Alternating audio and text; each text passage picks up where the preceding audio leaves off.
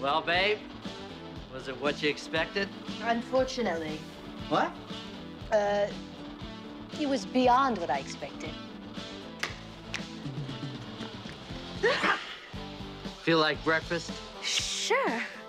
There's some pancake mix in the kitchen. Why don't you cook us up some? Why don't you go jumping on there?